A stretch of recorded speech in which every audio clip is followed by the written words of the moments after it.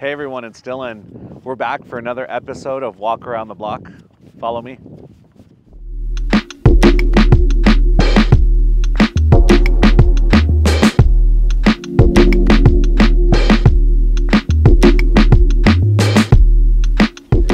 This episode, we're at Painted Prairie, one of the newest, most exciting developments in the Denver metro region, just minutes outside of downtown Denver a neighborhood built on neo-traditional values encompassing over 600 acres, just a stone's throw away from the airport and downtown Denver.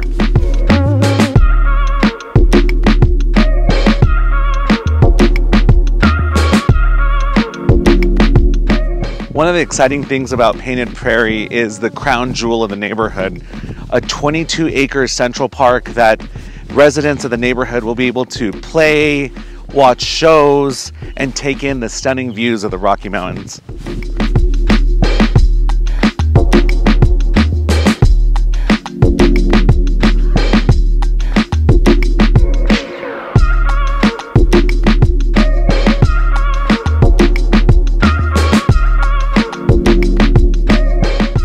At Painted Prairie, you're never bored with thoughtful little amenities like games, and over a hundred miles worth of trails. It's the perfect place to get the outdoors and the best of city living all in one.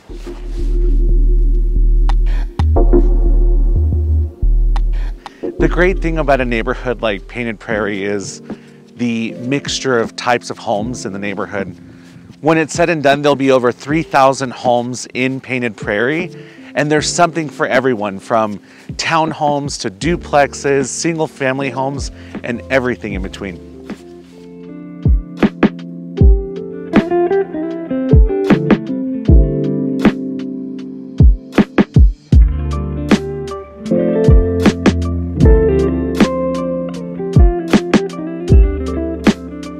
One of the great things about buying here at Painted Prairie is the ability to personalize your new home all while remaining Energy Star certified.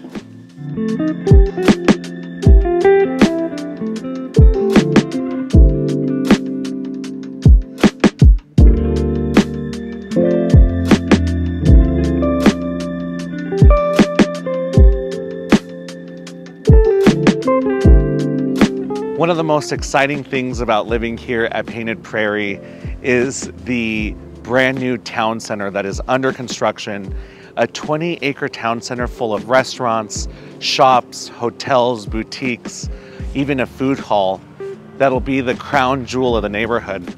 And right adjacent to it is the spectacular Gaylord Hotel and Resort.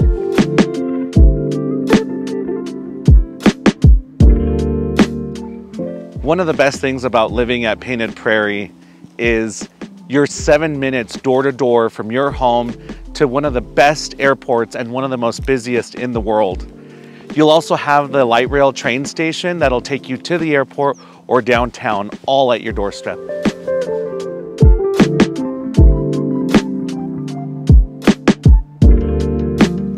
There's so many reasons to love living here at Painted Prairie.